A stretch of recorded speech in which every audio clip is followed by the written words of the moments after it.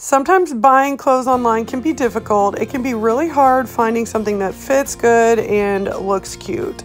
I really like this shirt I got from Zeagoo. It has this nice detailing here uh, toward the top on each side. It is really flattering as well.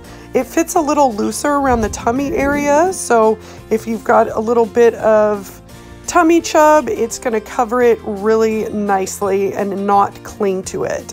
This shirt is loose and flowing. It has a nice stretch to it and the material is really soft. It comes in different colors. I thought the purple was really pretty. It also has a nice length on it. I'm 5 foot 9 and 160 pounds. This is a size medium and it fit me great.